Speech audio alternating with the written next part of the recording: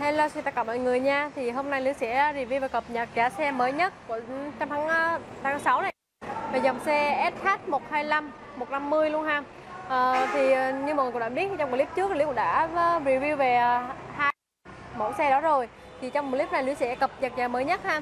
Bên cạnh đến đây là một em xe đang được trưng bày ở cửa hàng này Xe SH150 phiên bản CBS Thì hiện tại đối với em SH150 này chỉ có giá là 98 triệu thôi và trả trước cho Kim Luyến là 30 triệu đã có thể sở hữu ngay về một em SH150 rồi ha. Thì SH hiện tại cửa hàng Kim Luyến là có hai màu màu trắng và màu đen.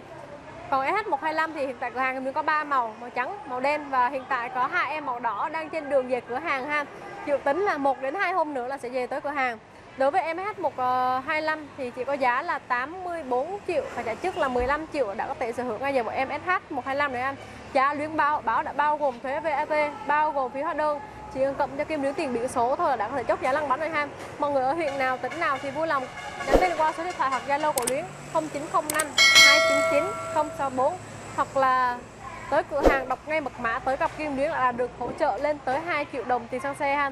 Hỗ trợ 2 triệu đồng tiền xăng xe khi tới cửa hàng đọc mật mã tới gặp kim luyến hoặc là có liên hệ trước với luyến ha.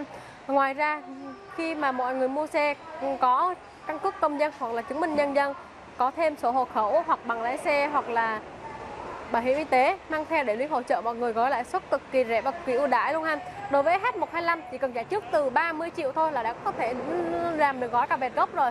Trả trước 15 triệu là đã có thể lên hồ sơ và trả trước 30 triệu là được cà vẹt gốc.